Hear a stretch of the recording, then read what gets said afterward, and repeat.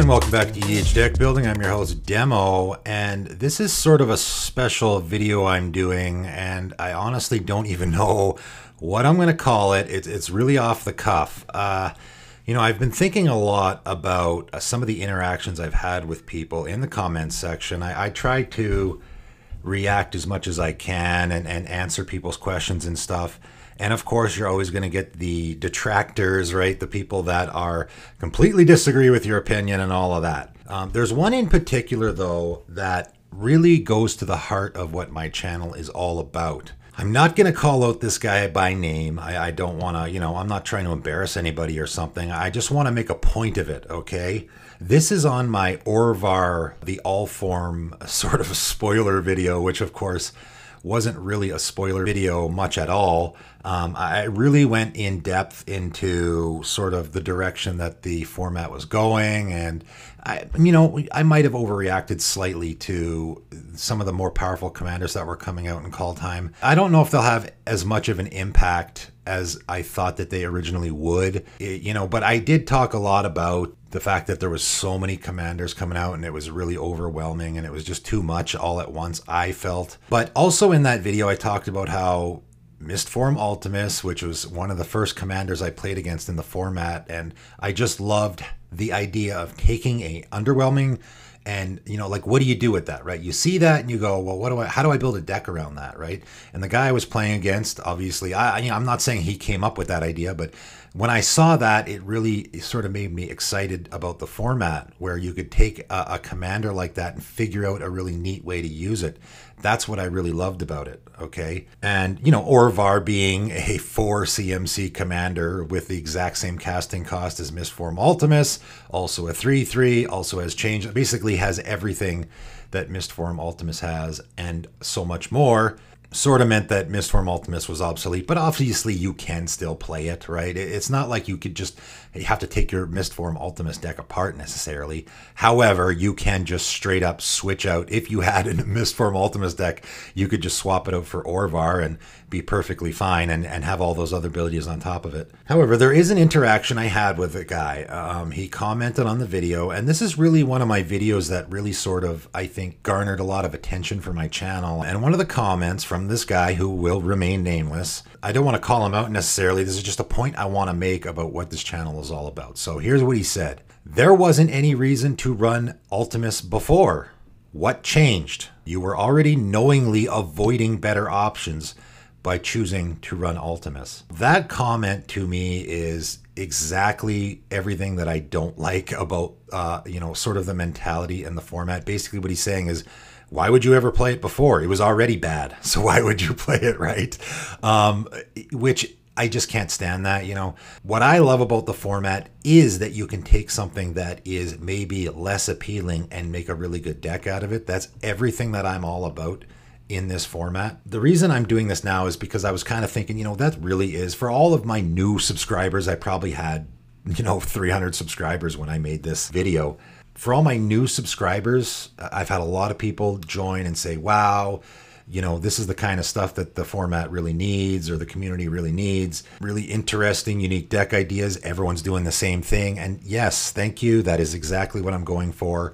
I've had a lot of people give me grief about my cyclonic rift isn't as good as you think, or talking about how Rhystic Study maybe isn't as good as you think.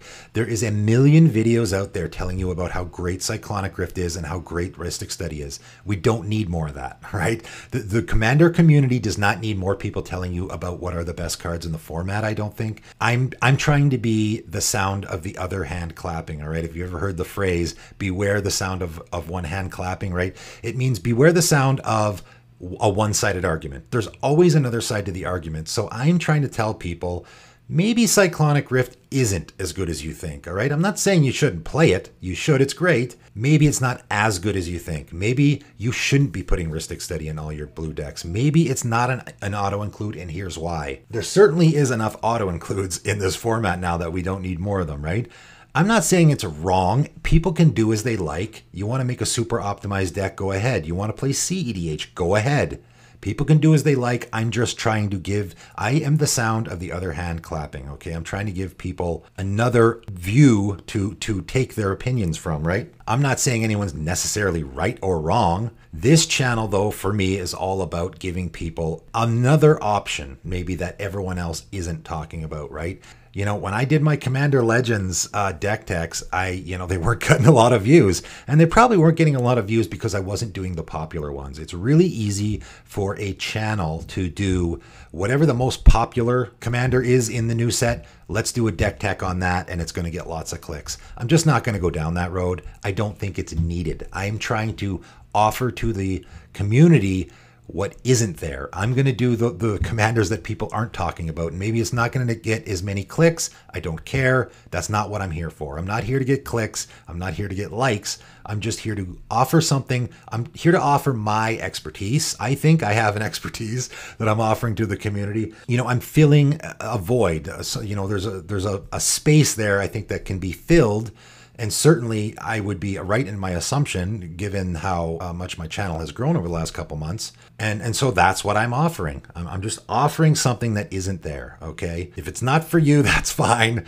You know, um, I'm sure there's lots of Golos deck techs out there. Um, but for all the people that want a general Jarkeld deck tech, or or people that want a Shaku Endbringer deck tech, this is sort of what this channel is all about. So that being said, okay, this isn't just a rant for me. This is, um, you know, I'm, going somewhere with this, which is I'm, I'm starting a new series of videos. And what I'm going to do is I'm going to start a poll, and I've had a lot of people say, "Hey, you should have a poll, or you should have people vote on on commanders and whatnot." And yes, I, I I'm sort of formulating a plan here, and what I'm going to do is I'm going to have a poll, and I will have a poll for this video. The link will be in the description below. You're going to go there. You're going to vote.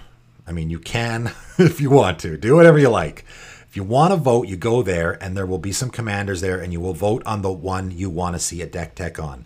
Here's how it's going to work there's going to be the top five, okay? So the top five commanders in the next video, what I'm going to do is I'm going to do a quick rundown of five commanders, okay? So the top five, and of, of course, they're all going to be very underwhelming. And it's going to be exactly what this guy doesn't like. The, the commanders like, why would you ever play that, right? It's going to be commanders like that, okay? And the top five I will do a quick rundown on, like I typically do in my requested deck tech videos, right? I'll just say you should be doing this. You should. This is how you the direction you should go. Here's some cards you should be playing. The top vote getter, right? So the the deck that gets or the commander that gets the number one amount of votes, I will actually make a deck list for and post that into the description. Okay. So that will be on the next video. I'll let the poll run for a week or whatever. I don't know. Also, from now on, like all the suggestions I have uh, for the commanders are just ones that I picked, ones that I've seen people ask about. After that, it's going to be whatever you guys suggest. So in the comments of this video, okay, comment however you like, you know, you, you know, thumbs up, thumbs down, whatever. But then also add a commander that you would like to see, okay?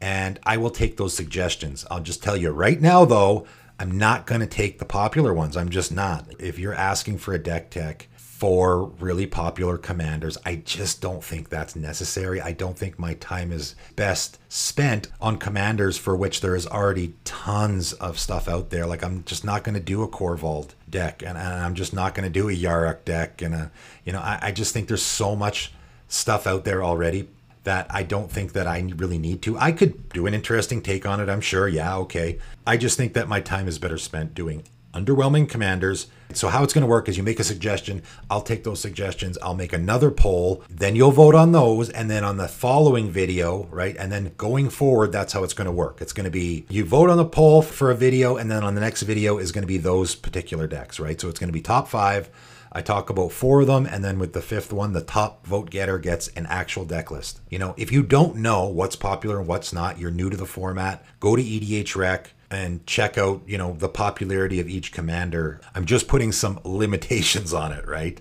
Um, because that's what I think is needed. I'm trying to fill a void in the community. I'm not saying I'm the only one. I'm, I'm not going to sit here and toot my own horn and, and talk about how maybe I'm the only one who's doing that. You know, there, there are other people out there that are making obscure deck techs and stuff, and great, good for them. I will continue to do so. To me, that's my favorite part of, of Commander. That's really what made me gravitate towards it is this idea of let's try to make it work. I got a really underwhelming, obscure commander, and I'm going to try to build a deck around it. I just really, really love that. So that is it for today. Just sort of a rant, you know. Uh, it was it was sort of a rant, and then on top of that, I'm sort of introducing this new format of videos that I'll be doing from now on. It, it's sort of taking the place of my just rather than doing these random requested deck decks, it's sort of taken the, the, the place of that. So uh, yeah, that is it for today, and thanks for tuning in.